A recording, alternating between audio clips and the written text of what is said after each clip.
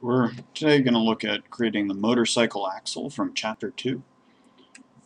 So this is the drawing. It's a relatively simple shape. We have a bolt that's 9.5 inches long from the head to the tip.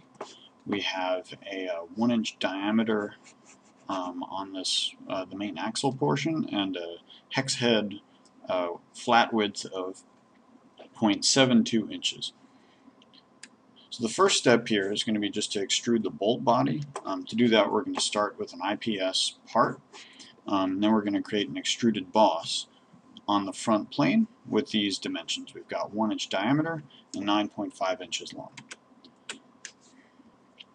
So in our newly created part um, we're going to select document properties unit IPS and then we're going to create an extruded boss on our front plane. And then from here, we'll draw a simple circle anchored to the sketch origin. We'll use Smart Dimension to create a um, diameter of 1 inch, then confirm that value. Then we're going to specify in our extrude depth, we want 9.5 inches. Hit enter to accept. You can see that we have approximately the correct profile. We'll accept this part and now we have the bolt body. Our next step is to create the bolt head which is going to be a separate extrusion um, and we're going to use the polygon tool to simplify the process. So again we want to use extruded boss slash base. We're going to draw on this face. Um, we're going to use normal to that's uh, in our view settings here and that will align us to our sketch plane. And now we're free to draw our polygon. So we're going to use this polygon tool in the sketch menu. Um, and by default, we're going to have six. And so we have two choices of circle here. We've got inscribed circle and circumscribed circle. So in this case, we're going to want inscribed circle.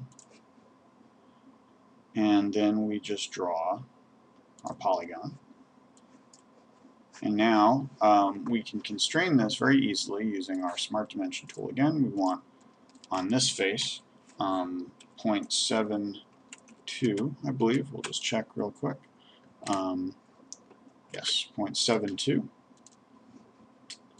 And finally, we want to apply a vertical constraint between the corner here and the center point. So we can make that vertical now just by control selecting each of these points. Um, and after I apply that vertical constraint, we can see this is completely specified. Now, one minor thing here, you want to make sure you're specifying an aligned dimension.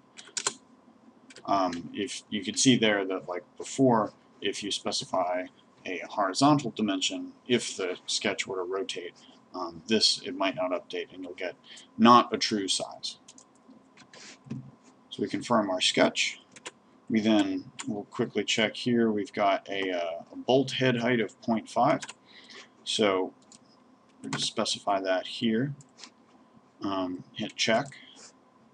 Now we have our bolt. So this is 95% of it. The very last step is to specify a cosmetic thread. The way we insert a cosmetic thread is through the Insert menu down in Annotations finally cosmetic thread here. So we're going to create a cosmetic thread um, and we want to uh, draw that on the end here um, and so this is going to be standard machine threads let's again check our drawing um,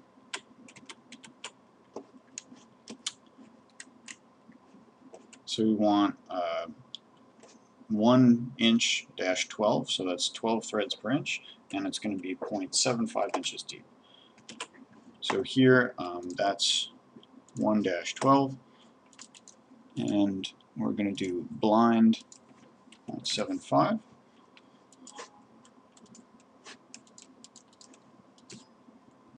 We're going to create cosmetic threads next on the end of the bolt, um, and that's because typically threads are uh, a complex feature to model directly, and because of their small surface size, ends up being not all that useful um, to model as solid features.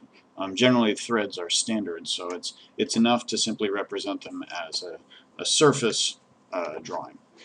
So to do that, in our SolidWorks menu, we're going to go to Insert, then down to Annotations, click Cosmetic Thread, and then select the uh, outside edge of um, uh, of the end of the bolt, and that's where the thread is going to start. Um, and so then we're going to specify 1-12 as our thread size. We want to do a blind thread of 0.75. Um, and then with that, we will accept, and we can see that the thread appears um, as this shaded representation of a thread on the end.